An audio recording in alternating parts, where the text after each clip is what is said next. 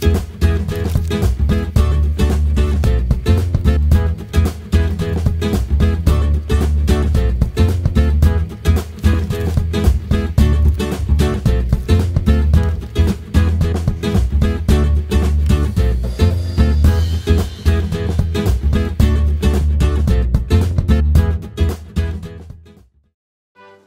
Deanne, tell me a little bit about, you know, I went into the dining room and I started looking about, you know, looking about trying to figure out what we were, gonna, where we were going to start. And then I saw your artwork and somebody said, oh, she's a resident here. And I said, well, we absolutely need to use her artwork. We need to get her involved and I want to hear her story. So I look around your room and I see all this beautiful art. How long have you been painting? I've been painting for um, 20 years. Mm-hmm, mm-hmm. And I didn't learn to paint until after my spinal cord injury. Mm-hmm. And I really have enjoyed it. I, I just love it. So which pieces are you willing to part with? For the dining room, because when I look around and I think about my space, I wouldn't be so, I'd be a little bit more selfish than you are.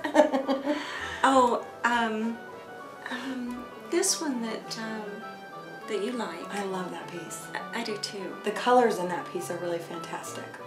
The orange, The greens and and the- orange. Yeah, the orange just just pops off that off that canvas. I really love it. Well, um, I'd love to to use that piece, um, Okay. and I hope you can part with it for the dining room. I'm That sure would be everybody great. would love I would love to. love to um, see it and I would love to. One of my favorite things to do when I come to a new city is to go antiquing.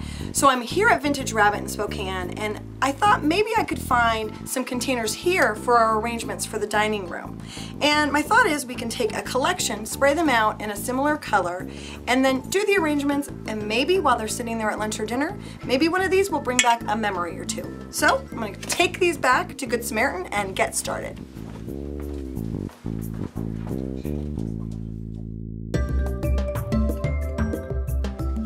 So I'm at Hancock Fabrics looking for material for both my curtain panels, my linens, and then there's a partition that I want to put some fabric on where, you know, residents can put notes, maybe we can put some of Deanne's art there, and I'm looking for some things that maybe are a little bit more traditional to fit in with the theme of the design, but of course I tend to lean towards that contemporary. So this fabric actually caught my eye right away because I love how contemporary with the cream and the white and it's got this really contemporary graphic print.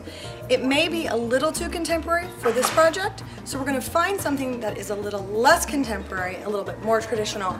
This fabric is a little bit more traditional. It's got a flocked brocade on it, which makes it feel a little bit more updated and contemporary. But I still am not really happy. So then I came across this fabric. Now it's got a bolder print, which makes it more contemporary, and you still have that flocked print on top. So I think this is the perfect thing for my partition that's gonna separate the dining room from the kitchen. Now all I have to find is that just classic black fabric to add to the bottom of those drapes and to my linens, and then we're ready to go. Let me go find that.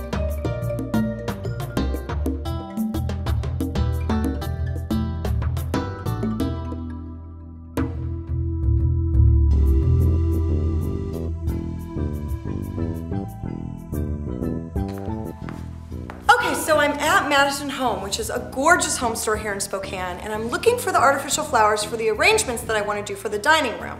I'm gonna meet Sam Lay and want to talk to you a little bit about your beautiful store. First of all, it's gorgeous. Thank you. And I've been around Spokane for a couple of days. I've been looking for a store just like yours. You have beautiful furnishings, and I'm just seeing a little peek of your artificial flowers, and I can't wait to get my hands on them. So tell me a little bit about you and how you came to Spokane.